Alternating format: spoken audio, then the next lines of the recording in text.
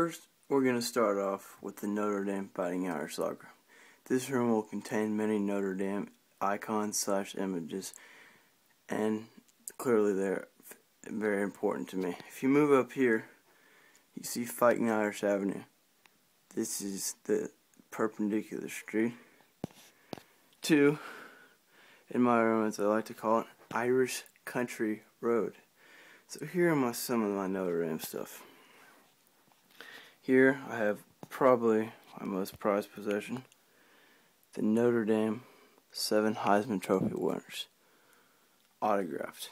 First, we have Angelo Bertinelli, 1943. John Lujack, 1947. Leon Hart, 1949. John Lattner, 1953. Paul Hornung, 1956. John Huarte, 1964.